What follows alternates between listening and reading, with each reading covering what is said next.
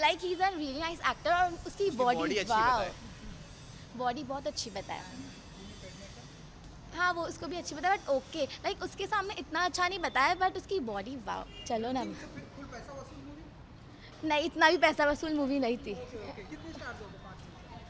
Four बहुत अच्छी लगी मूवी उसका स्टोरी भी अच्छा था।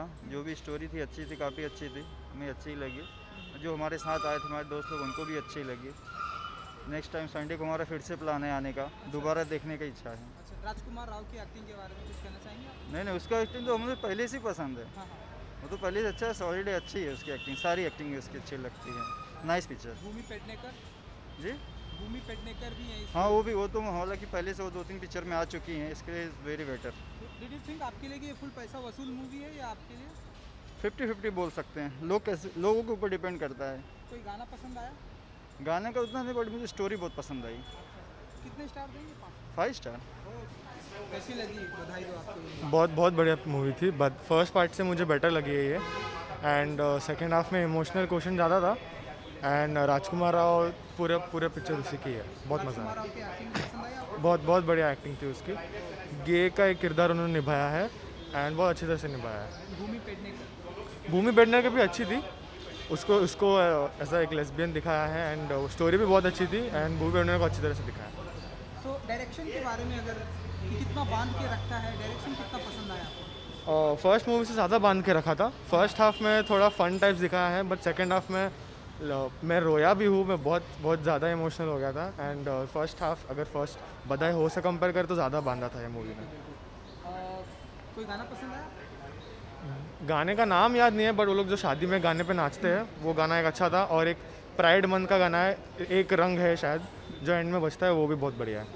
डिड यू थिंक आपके लिए कि फुल पैसा वसूल मूवी है आप अगेन जी जी बिल्कुल पूरी पैसा वसूल मूवी तो ज़रूर आऊँगा वापस। फोर स्टार्स कैसे लगी भाई ये बधाई दो? बधाई दो एक डिफरेंट मूवी लगी मेरे को ना? अलग अलग स्टोरी अलग लाइनअप बहुत मज़ेदार मूवी लगी मेरे को। राजकुमार राव। राजकुमार राव और भूमि पेन्नर की की जो केमिस्ट्री है सुपर है। लेस्बियन एक तरफ़ एक तरफ़ गे की स्टोरी डाला गया। मतलब कि समाज में जैसे लेस्बियन को अलग नज़र से देखते हैं गे को अलग नज़र से देखते हैं। इस मूवी के अंदर एक मैसेज देने की कोशिश किया गया कि लेस्बियन को आप इंसानी समझो ना कि उनसे दूर भागो। या जो गे है उनसे आप दूर मत भागो सब इंसान है सबसे मोहब्बत करो। राजकुमार राव एंड भूमि पेडनेकर की एक्टिंग के बारे में कुछ कहेंगे आप? लगी दोनों की एक्टिंग बहुत अच्छी है। राजकुमार राव ने जो अपने रोल को प्ले किया बहुत अच्छे तरीके से उन्होंने किया। या राजकुमार राव बेहतरीन एक्टर है। उनकी सारी फ़िल्में आप उठा के देख लो। उनका जो परफॉर्मेंस होता है सुपर होता है। आँखें बंद करके उनकी फ़िल्मों को देख सकते हो आप।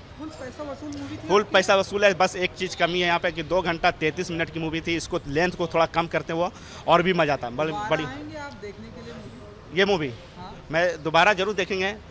क्योंकि इसकी जो लेंथ है ना बस लेंथ के ऊपर थोड़ा काम करते हुआ कम बनाते हैं। सॉन्ग एक अच्छे शुरू वाला बधाई दो जो टाइटल ट्रैक है वो अच्छा है बाकी का कोई खास नहीं है सॉन्ग तो कितने स्टार देंगे पाँच में से? थ्री स्टार दूँगा मूवी कैसी लगी आपको फ़िल्म बधाई दो? मूवी बहुत अच्छी लगी। And it is something which is coming up मतलब ये टॉपिक अच्छा है कि लोगों के सामने आए ताकि लोग समझ पाए। राजकुमार राव की एक्टिंग के बारे में राजकुमार राव की एक्टिंग बहुत अच्छी है।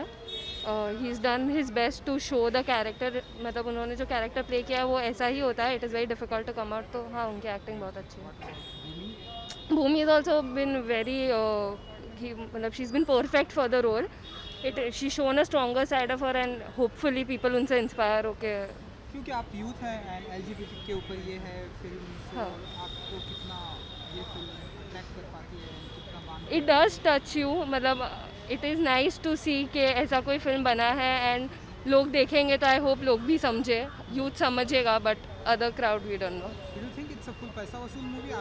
हाँ इट इज़ अ पैसा वसूल लिए?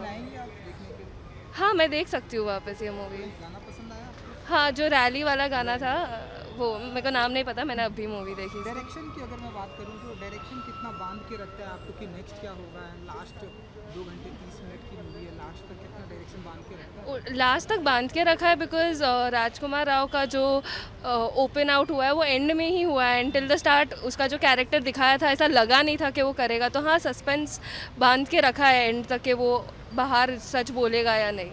Out of five? Four and half